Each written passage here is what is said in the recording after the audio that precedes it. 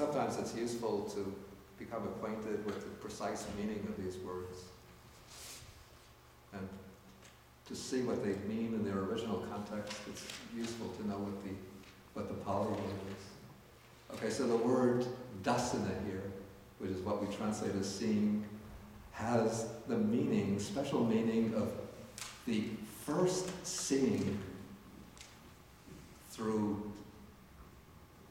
seeing always implies to direct cognition, through direct experience of the Four Noble Truths in their entirety.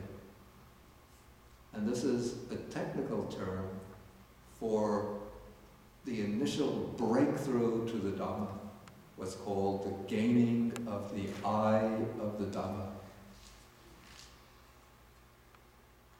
And this refers to attaining the stage of Sotapatti, the stage of stream entry, whereby the truth of the Dhamma opens up to one's inner vision and one sees directly the Four Noble Truths.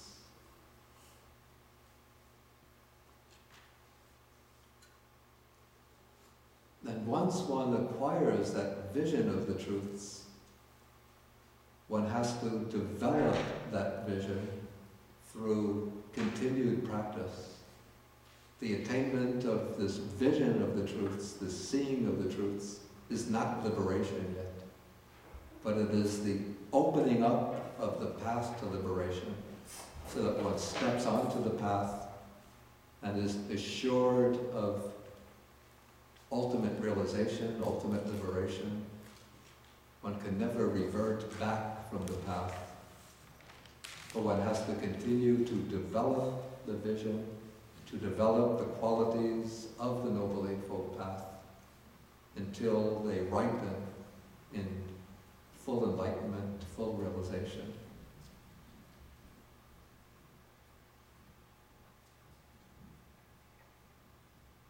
And so technically, we say that the attainment of seeing means reaching the first stage of enlightenment. And then the practice of development means that one develops this vision through the second, third stages onto the path to the fourth stage, the stage of arhatship.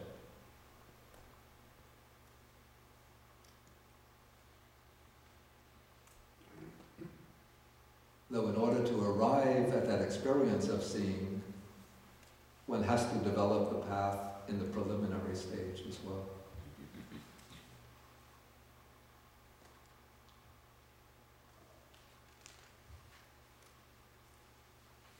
Okay, so now the Buddha speaks about taints to be abandoned by seeing. And so he raises the question, what taints should be abandoned by seeing? Then he's going to illustrate this by taking the specific case of what is called the untaught ordinary person, sometimes translated the uninstructed worldling. Because this is an ordinary person, a person without any degree of realization, direct understanding of truth, who has no regard for the noble ones. He doesn't have any special respect or reverence for the noble persons. He is unskilled in their teaching, in their Dhamma. That is, he's not, doesn't have knowledge of their teaching. And he's undisciplined in their Dhamma. That is, he is not trained in the practice that pertains to their teaching.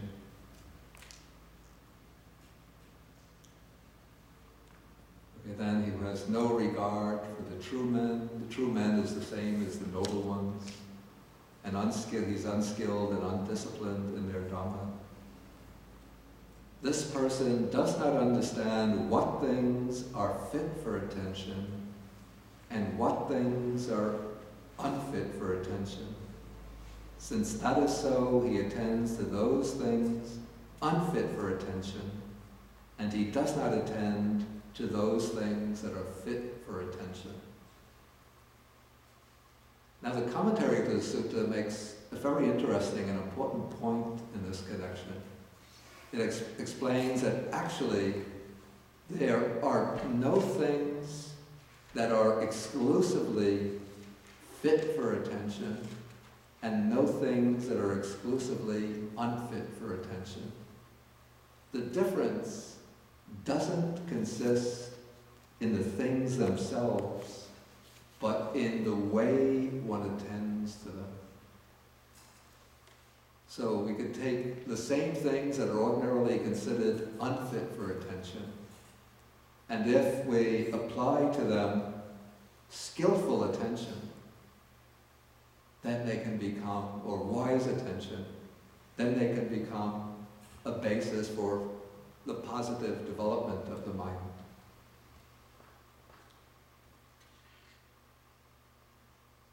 For example, within the context of the monk's life, excuse me, but it's usually considered the form of the beautiful woman is something unfit for attention, in the sense that if one attends unwisely to the form of a woman, then sensual craving is going to arise.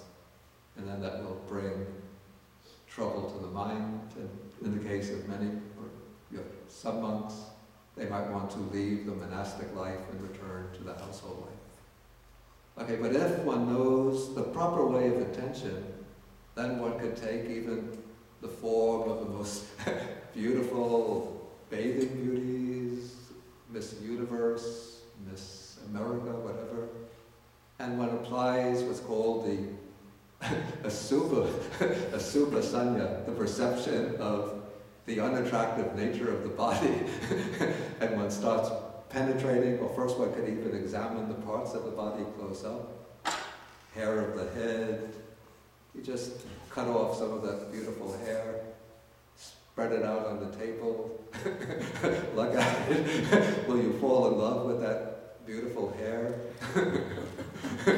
or one maybe shaves off some of the hair under the arms, puts it on the table. Is it really lovely and beautiful? um, cuts she cuts her fingernails, takes the fingernails, puts them on the table. Maybe the dentist pulls out a tooth. You go to the dentist and say, Can I have that tooth? or some of her flakes of the, of the skin peel off. If you get sunburned, the skin peels off. Put it down. So we have some head hairs, body hairs, fingernails, a tooth, and peelings of the skin. Beautiful or not? and then one starts, if one is a surgeon, one looks into the body, performs the operation.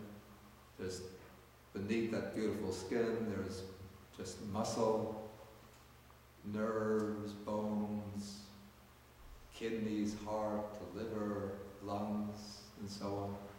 So putting this all together, there's nothing there that's very beautiful. Okay, so if we attend to these things that are normally considered unfit for attention, then they can become a means for reducing the asavas, reducing these taints.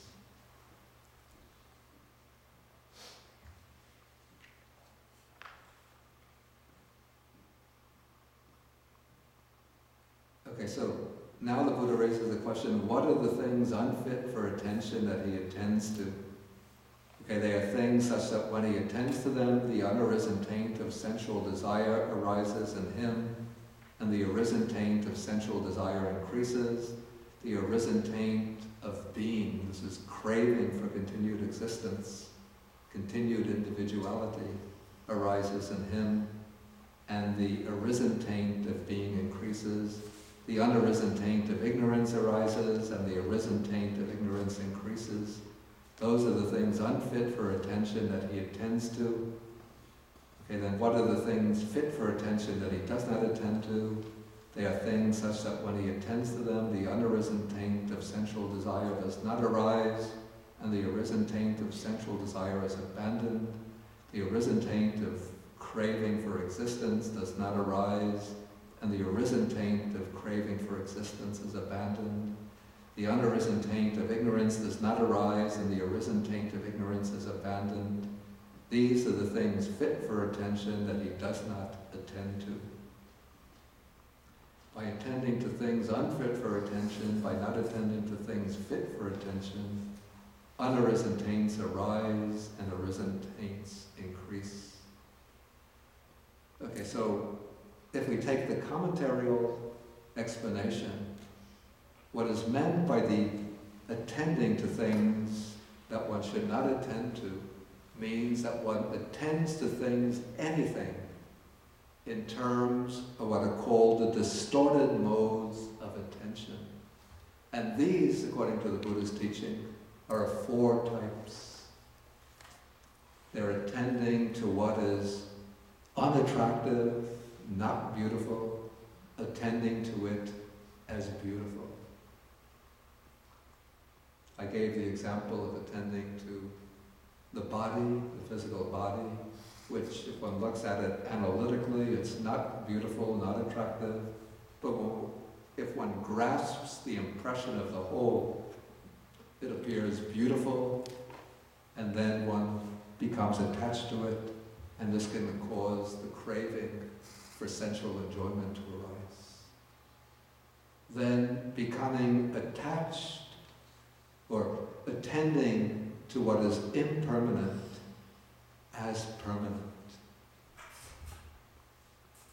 And so this will apply, it can apply to anything, but it can apply specifically to certain deep states of tranquility meditation, where one experience, in which one experiences a state of either radiant bliss, deep peacefulness, and one could then take this to be a disclosure, of contact with some kind of permanent, everlasting state of existence. But if one contemplates this peaceful, blissful state methodically with wise attention, one will see that this state is impermanent. It arises when one makes the appropriate effort, when one sustains one's attention on it, when one turns the attention away, when one relaxes that effort, that state subsides and ends. And so one sees the impermanent as being, in that case, as being impermanent. The th- third distorted way of understanding is, or distorted way of attention, is attending to what is really dukkha, unsatisfactory, unsatisfying, as being blissful or a source of happiness. Again, this could apply to either sensual pleasures, one takes the sensual pleasures to be really a source of bliss and su- sustainable happiness. But if one attends wisely to the sensual pleasures, one sees that these sensual pleasures are impermanent. Because they're impermanent, they're not really satisfactory. One sees how to obtain the sensual pleasures, one has to go through a lot of trouble and turmoil. While one is enjoying them, enjoying them, the mind is accompanied by some degree of anxiety and clinging. And if one loses them, then one falls into misery, dejection, even despair.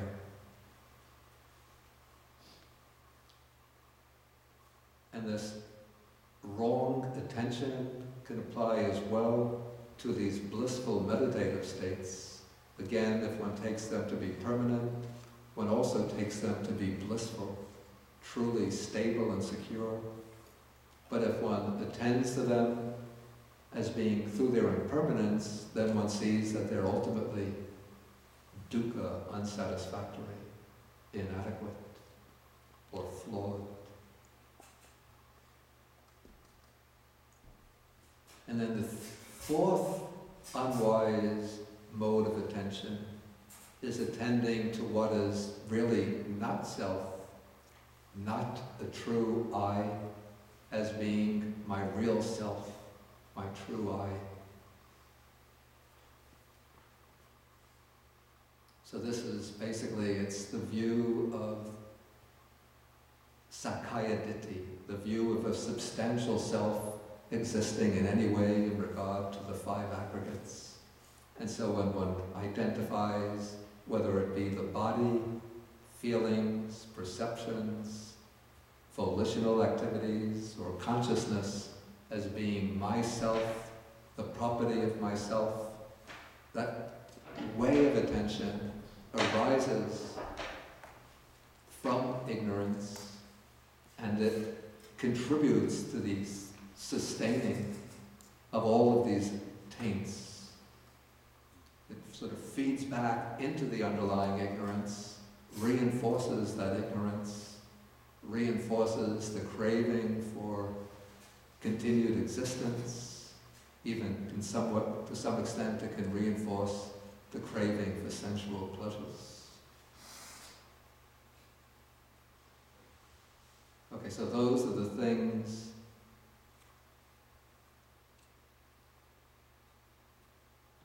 let's say these are the unwise modes of attention which he applies to when he attends to anything. And attending in this way will cause unarisen taints to arise and arisen taints to increase and become stronger. Okay, maybe I'll pause at this point and then ask whether there are any questions.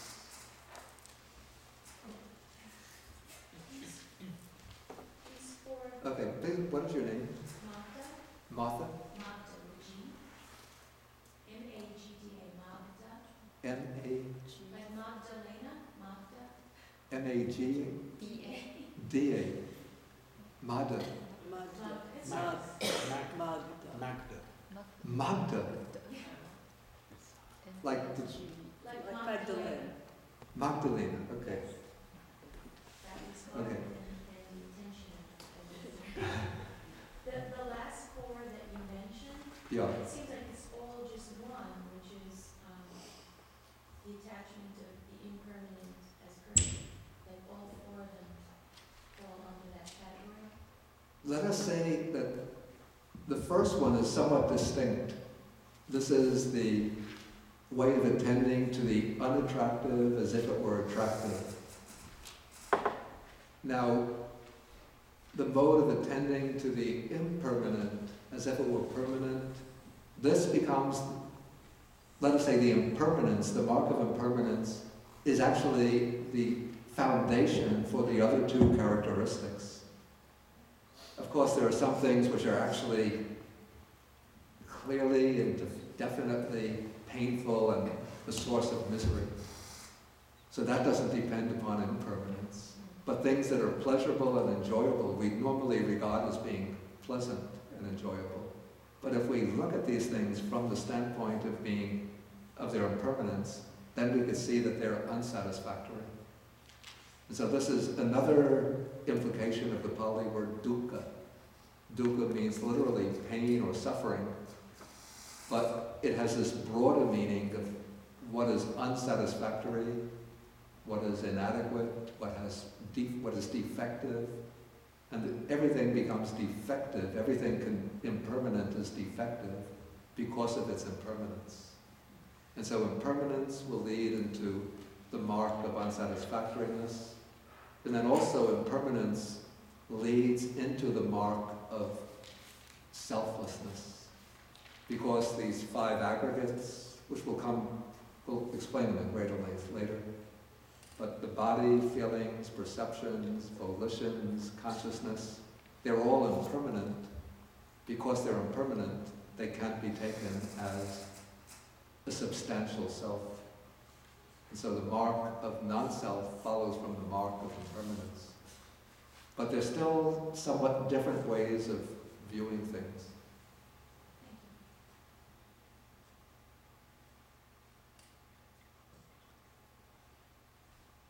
Did somebody else have a question?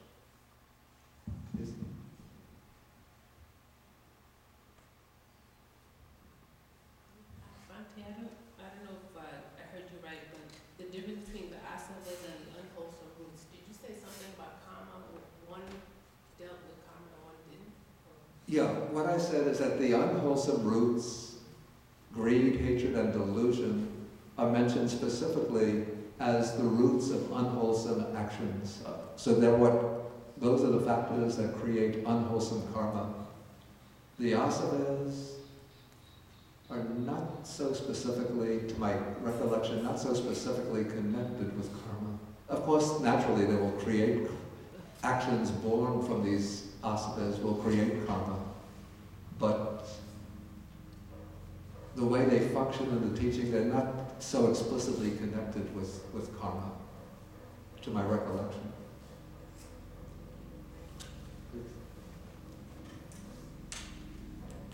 Your name again? Katie, Katie, right?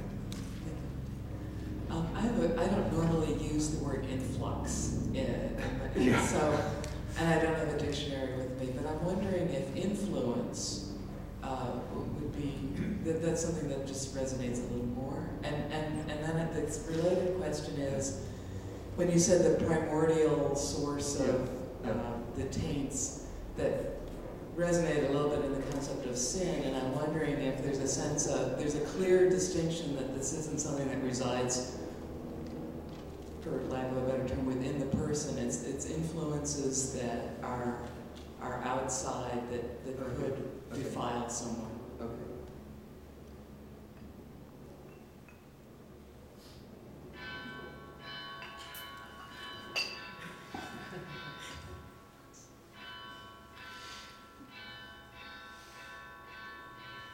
This is something we go through every Saturday.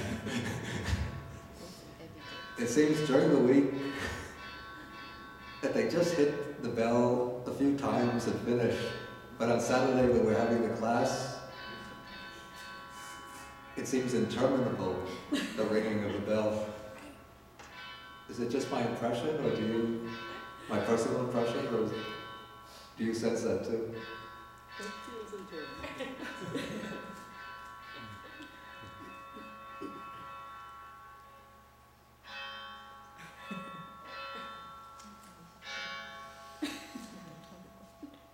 Okay, that, that's a, a good question, oh, actually two good questions. Some translators have actually used the word influence as a rendering for asava, and so it's a possibility. The only reason, and it agrees with the literal meaning of the word, though in English the word influence has lost its connection to its etym- etymological origins. But influence comes from fluid, fluence is flowing, and in means of course, in. So it's flowing in. What flows in is an influence. But I don't like to use influence because asavas are considered things which are always unwholesome, whereas influences can be good and bad. Okay, then your second question, whether asava corres- first, whether it corresponds to the idea of sin. First, in Buddhism, we don't have a term that, to my mind, brings along the specific connotations of the idea of sin in Christianity, of some kind of original corruption, moral corruption. The asavas, as well as the other th- qualities like the unwholesome roots, are usually viewed purely as psychological quali- uh, factors, mental factors. They're mental factors responsible for bondage and suffering, but they don't have that weight of that sense of being evil, much less do they suggest something like the idea of sin. I think the original meaning is separation, with the idea that it is what is, brings about a separation from God. So the asavas don't have that sense.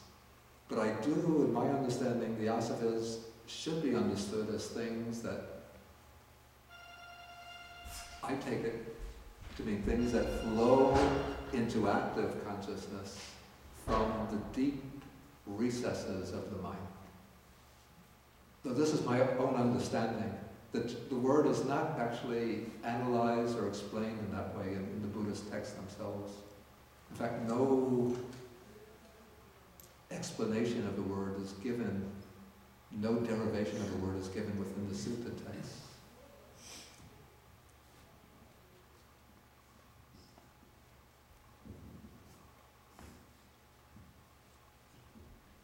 I have a simple question, what, um, etymological. What does sabbasava mean? Oh, I'm sorry, okay, sabbasava, it's just, sabba is all, so it's all plus asava. That's why it's called sab, sabbasava sutta, discourse on all the things. Okay, I should have explained that.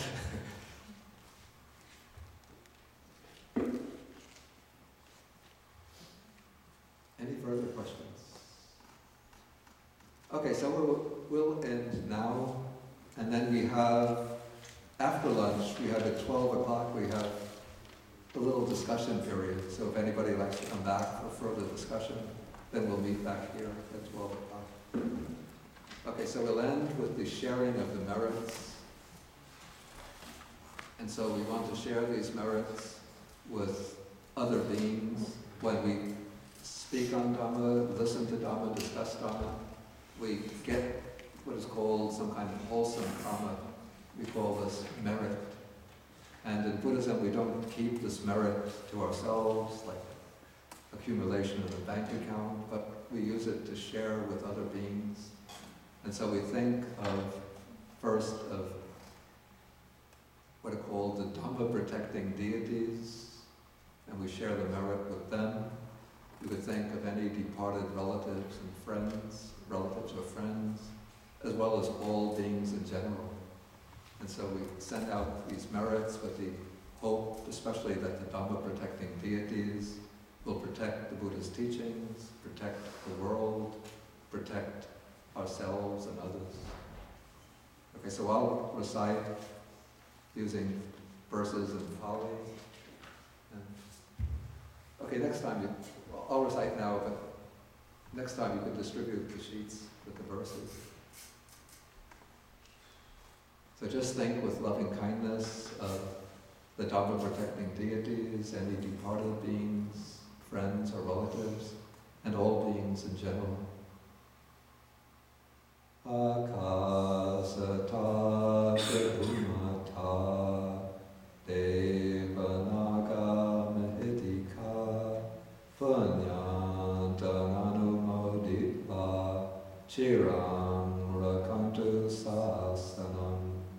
akasata ca bhumata devanaga medika panyanta nanumoditva chiram rakantu desam akasata ca bhumata